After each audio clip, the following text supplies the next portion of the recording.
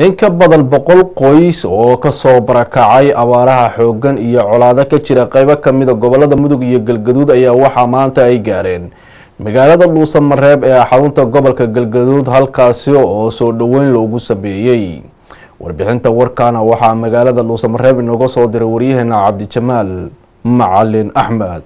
In ka badan boqol qoys oo danyar ah xoolahoodu in abaartu ay ka laysay kana soo barakacay colaad iyo abaar ka jirta deegaanka ceelhuur ayaa soo gaaray magaalada dhuusamareeb ee gobolka galgaduud waxaana dadkani ay yihiin kuwa u baahan in laga caawiyo sidii ay ku heli lahaayeen hooy ay ku hoydaan cunto ay cunaan iyo sidoo kale biyo ay cabaan. Dadkan oo ay diif badani ka muuqato ayaa hadda si ku meel gaara waxaa loo sii dejiyey dugsiga hoose dhexe ee waaberi waxaana dadka goobta la dejiyo ku booqday guddoomiyaha baarlamaanka maamulka gobollada dhexe saadiq sheekh yuusuf sheekh ibraahim iyo sidoo kale yuusuf xasan ciyo yuusuf goobe oo ah guddoomiyaha guddiga abaaraha maamulka gobollada dhexe waxaana ay goobta ka yidhaahdeen sida tan dad barakacayaal ah ee saddex boqol iyo konton kilomitir markii horeetee xoolahooda ay kaga dhammaadeen dabadeedna qol ku gala la yidhaahdo al-shabaab.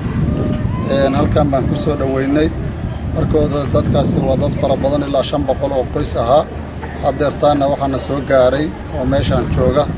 Dad aan ka yarayn laba boqol oo qoys waa dad u tabaalaysan dadweynaha soomaaliyeed iyo gaar ahaan gobollada dhexe iyo beesha caalankaba waxaan leenahay dadkaasi wuxuu awoodi karaahi wax u awoodeen ha la taakuleeyo.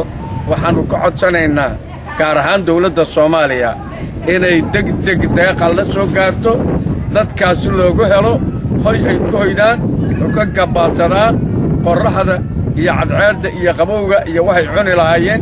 Hay'adaha adduunkana waxaan ka codsanaynaa inay yimaadaan indhahooda ku arkaan wax u qabtaan.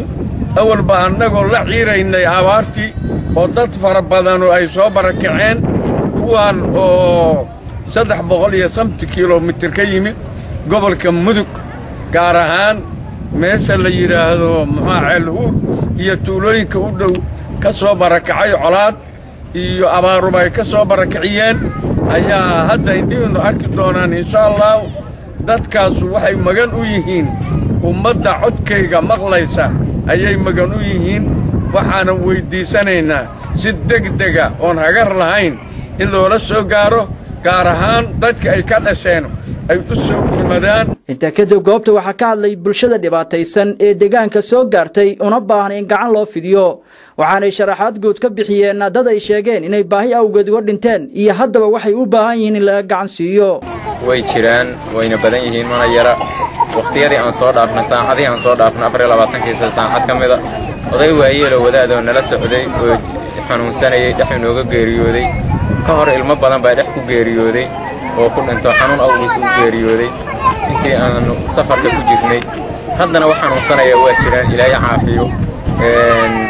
Middana haysaa waa middaas mid abaareeda noogu daran. Waxaan ka codsanaynaa maamullada iyo hay'adaha daaqadaha bixiya in kaalmo degdega nala kala soo gaaro oo nala ka caawiyo cadowga iyo abaarta iyo dhibaatadana haysa. In nala ka caawiyo intaas waxa weeye dhibkana qabtay oo meeshaanna keenay. Waxaanna soo weeraray niman la yidhaahdo al-shabaab oo cadowga caalamka iyo islaamka oo dhanba ah waxa weeye daaqii iyo iyo ceeshii iyo degmadii oo dhan waa naga degeen. Dunyadiina waa naga dhaceen guryihiina waa ay naga gubeen. Intaas bacdigeeda waxay ku soo darsadeen naflayaashaas meeshaa jooga inay aruursadaan oo masana ku gorgorsamaan. Annagoo dunyahayn oo guryahayn aad dadkaas taaqaawun oo ujeediin kala soo fakannay dadkan iyo dadkiisii kalena wuxuu ku lunsan yahay dhulkii iyo deegaankii iyo dal uusan garanayn. Uu ku lunsan yahay. Cabdijamaal macalin axmed kalson t v dhuusamareeb